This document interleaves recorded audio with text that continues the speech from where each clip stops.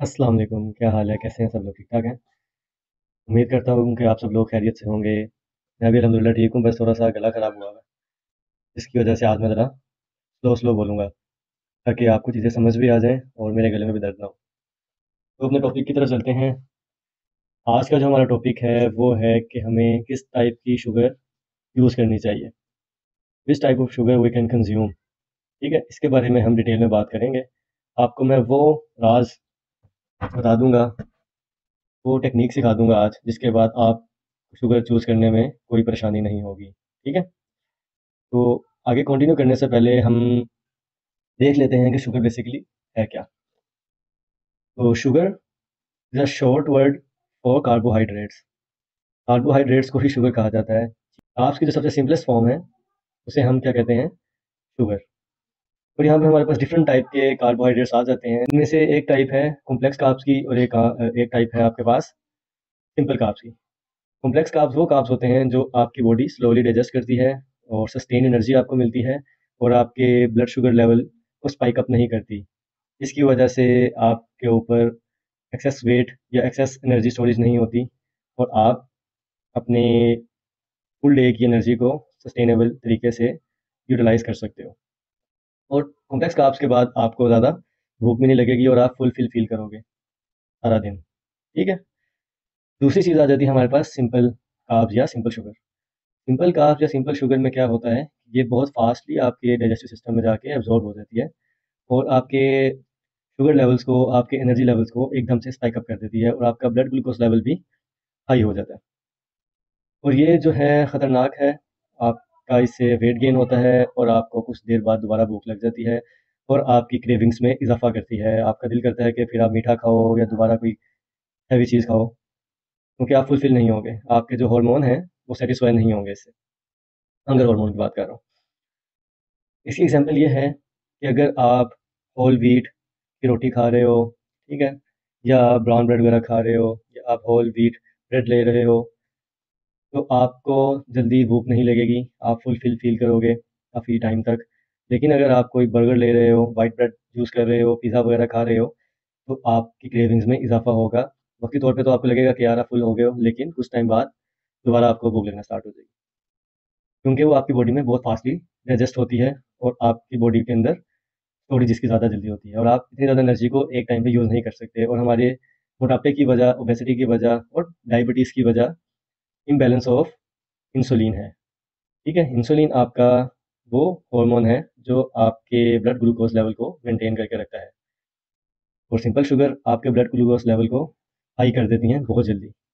इस वजह से आपकी बॉडी उसे रेजिस्ट नहीं कर पाती। तो बेहतर होता है कि हम किस तरफ़ जाएँ कॉम्प्लेक्स कार्ब्स की तरफ़ जाएँ वेट लॉस के लिए, अच्छी हेल्थ के लिए, अच्छे डाइजेस्टिव सिस्टम के लिए, अच्छे मेटाबॉलिज्म के लिए। अब हम बात करते हैं कि कैसे हम कॉम्प्लेक्स कार्ब्स या सिंपल कार्ब्स को सेट कर सकते हैं अपनी डाइट में। बहुत ही सिंपल सी टिप है, बहुत ही सिंपल सा फॉर्मूला है। Glycaemic index G I index of food basically G I index जो है आपके कार्बोहाइड्रेट्स की वजह से जो आपके ब्लड ग्लूकोज में स्पाइक आता है, उसको मैयर करने का एक टूल है। जिससे हमें पता लगता है कि कौन सी फ़ूड आपकी बॉडी में कितनी फास्टली डाइजेस्ट हो रही है या कितनी स्लोली डाइजेस्ट हो रही है। इसमें तीन रेंजेस होती हैं। Low G I index medium या मॉडरेट जी आई इंडेक्स और हाई जी आई इंडेक्स सबसे बेस्ट फ़ूड होती हैं लो जी आई इंडेक्स वाली। जिनका जी आई इंडेक्स 50 से नीचे होगा। अच्छा इसका ज़ीरो से लेके 100 तक हम इसको रेटिंग करते हैं। जिस फ़ूड का जी आई इंडेक्स जिस कार्बोहाइड्रेट का जी आई इंडेक्स 50 से नीचे होगा या 50 तक होगा, वो आती हैं आपकी स्लो डाइजेस्टिव फ़ूड में, यानी कि लो जी आई इंडेक्स में। और ये सबसे बेस्ट फूड्स हैं बेस्ट टाइप ऑफ़ शुगर्स हैं जो हम कंज्यूम कर सकते हैं अपनी बेटर हेल्थ के लिए, अपनी गोल अचीवमेंट के लिए फैट लॉस के लिए वेट लॉस के लिए और शुगर को बैलेंस रखने के लिए। दूसरी टाइप क्या आ जाती है? मॉडरेट इसकी रेंज होती है फिफ्टी टू टू सेवेंटी पचास से लेके सत्तर तक इसकी पॉइंटिंग है। ये भी काबिल बर्दाश्त हैं, इनका हम मिक्सअप कर सकते हैं अगर हम लो जी इंडेक्स और मीडियम जी इंडेक्स को मिल मिक्स करके खाएँ तो ये अच्छी आपके पास एक ऑप्शन है। हम इन दोनों को बेहतर तरीके से कंज्यूम कर सकते हैं आपस में मिला के, जिससे इनका टोटल ओवरऑल शुगर लेवल जो है इतना ज़्यादा हाई नहीं होगा।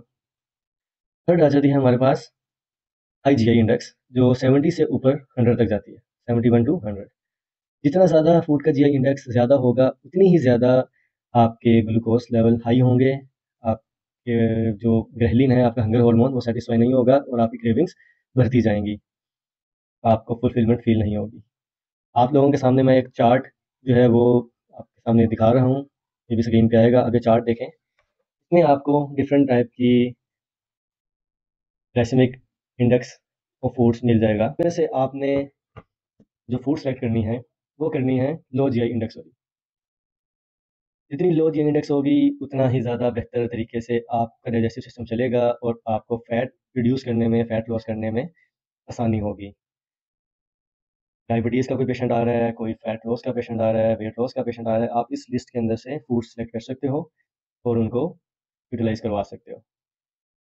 तो ये था आज का हमारा टॉपिक, जिसमें हमने सीखा कि कार्बोहाइड्रेट्स क्या हैं, शुगर किस टाइप की होती है और उसको हम कैसे यूटिलाइज़ कर सकते हैं, किस टाइप की शुगर हमें यूज़ करनी चाहिए। वीडियो के बारे में अगर फर्दर कुछ इन्फॉर्मेशन आपको चाहिए तो आप मुझे मैसेज कर सकते हो, मैं आपको और इन्फॉर्मेटिव वीडियो भी बना के दे दूँगा इसमें, मज़ीद डिटेल के साथ। तब तक के लिए अपना ख्याल रखो दुआ में याद रखना इन नेक्स्ट वीडियो में मुलाकात होती है नेक्स्ट टॉपिक के साथ। एक अल्लाह हाफिज़ बाय बाय